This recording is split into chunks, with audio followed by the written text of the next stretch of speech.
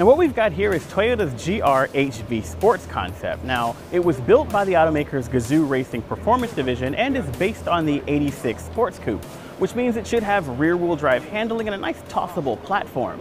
It's also got a foldable Targa-style roof similar to that of the MX-5 RF, but that's not what makes this concept most interesting. And what's got us scratching our heads is what's happening under the hood. That's where you'll find a performance hybrid powertrain based on Gazoo's Racing TS050 rally car over there. It keeps its hybrid battery pack in the middle of the chassis so things are nice and easily rotatable, and it's got an interesting and sort of novel way of handling a manual shift mode. Rather than paddle shifters like with most automated manuals, it's actually got an H-pattern shifter similar to that of a standard manual transmission. So you rotate through your six gears just like you would if you had a clutch, only there's not a clutch, and the computer handles all of the shifting itself. It's automatic, but it's also manual. It's a bit confusing, and I just need to drive this car to figure out what's happening.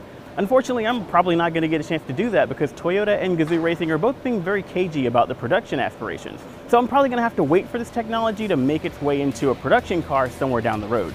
Maybe that Supra people keep spreading rumors about.